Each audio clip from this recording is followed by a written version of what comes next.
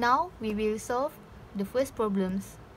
The problem is we search for the edge is the height of the cliff and then we search for the range.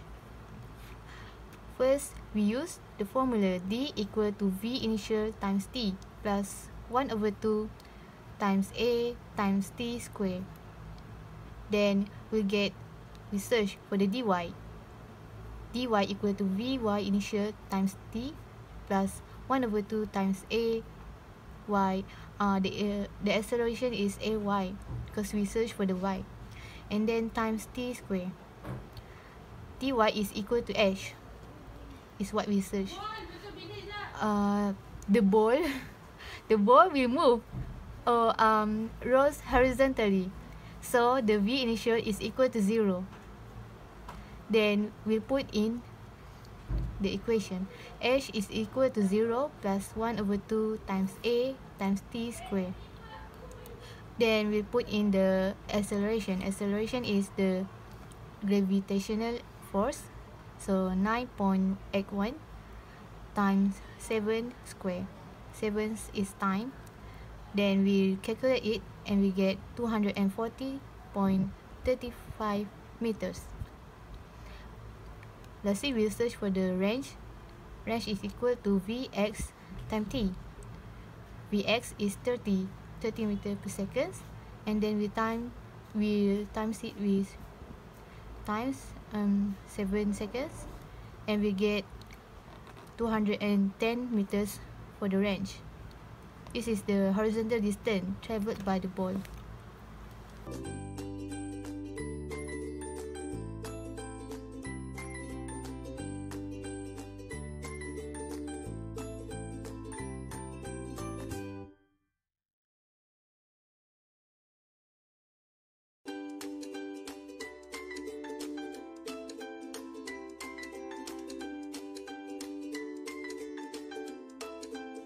Alright, now we solve the second problems.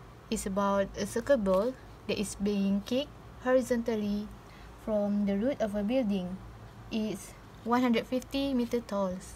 This is h 150 meter.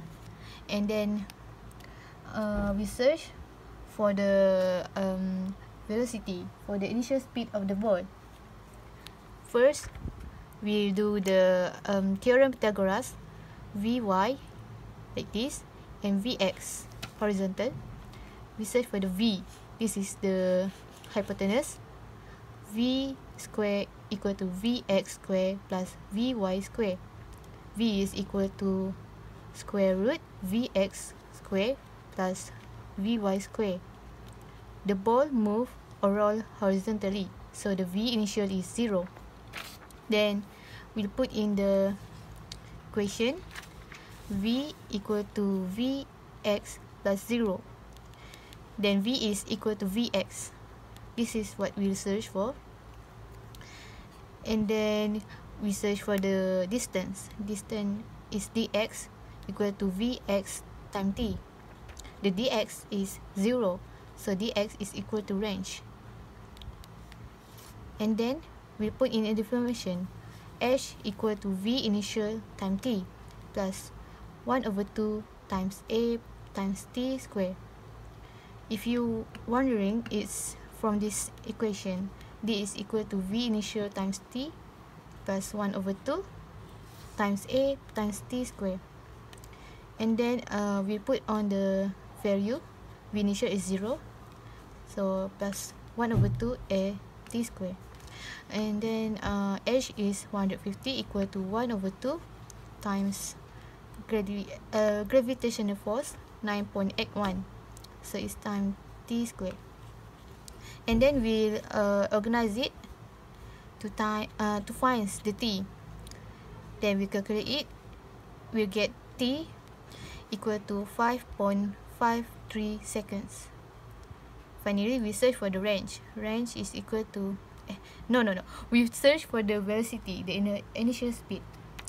Uh, we use the range formula uh, range is equal to one, uh, 200 from the question and then equal to Vx times T we put in the value and we search for the Vx the initial speed is 36.15 uh, meter per second.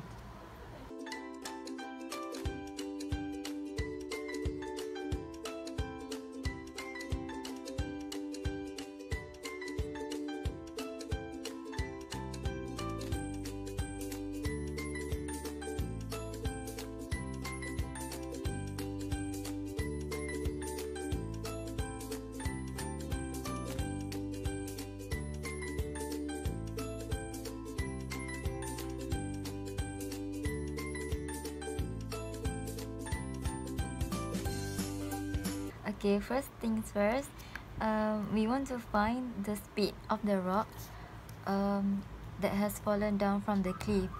So, um, in order to find the speed, we need to know the time taken uh, for the rock to fall down first. But um, uh, before that, we need to find the t um, vertically because we cannot use um, we cannot find the t um, using horizontally because we don't have the acceleration the acceleration is a so we can't find the t. So we need to find it uh, vertically. So here we have acceleration equals to 9.81 um, meter per second square. And then we have y initial equals to 0 and y equals to 100 100 and v initial equals to 0 and then we have the formula here.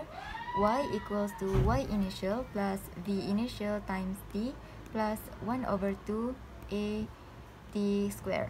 And then um, we already know that um, y initial equals to 0 and v initial also equals to 0 so we simplify the formula into y equals to 1 over 2 a t square. And then um, we organize the formula to get the t which is uh, finally equals to square root 2y over a. And then we put the value into the equation which is t equals to square root 2 times 100 per 9 over 9.81 and then we got the t equals to 4.52 seconds. And then moving on to the horizontally direction we have the formula x equal to x initial plus v initial times t plus 1 over 2 at square. And then as I said before a equals to 0 and x initial also equals to 0 so we simplify the formula into x equals to v initial times t. And then we we will get we want to know the the speed so we need to make the v initial equals to x over t and then we put in the value and then we finally get v initial equals to 95 over 4.52 which is the time and we got the answer equals to 21 meter per second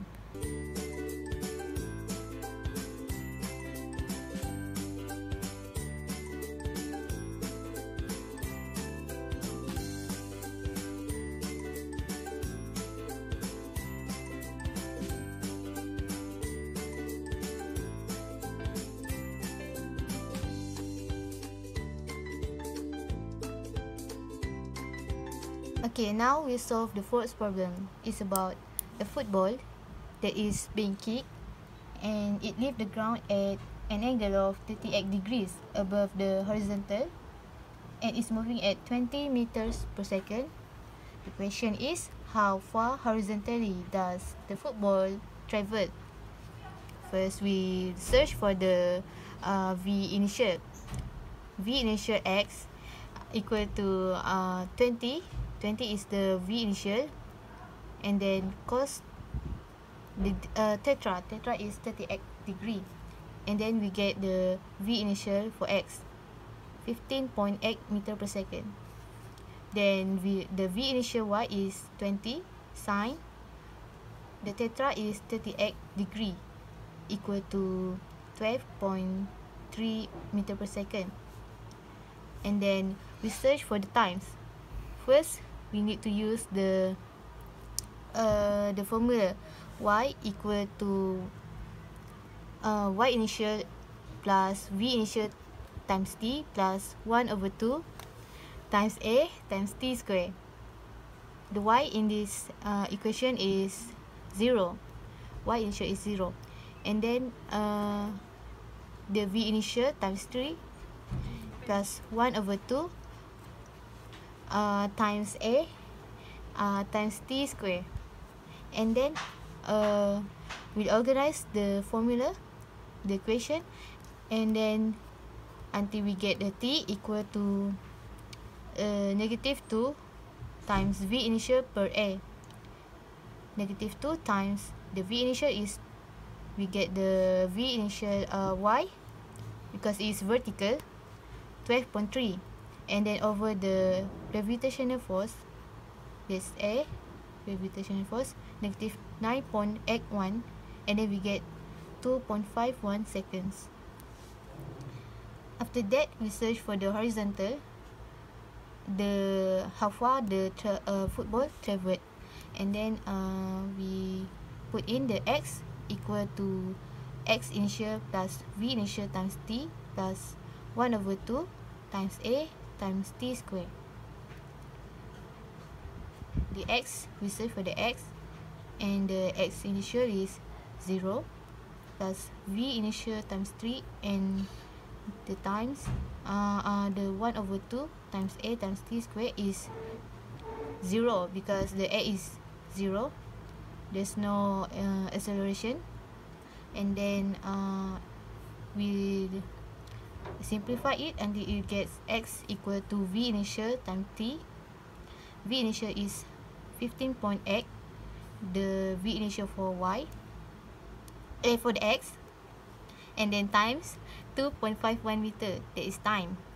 And then we get 40 meters for the for the how far horizontally does the football travel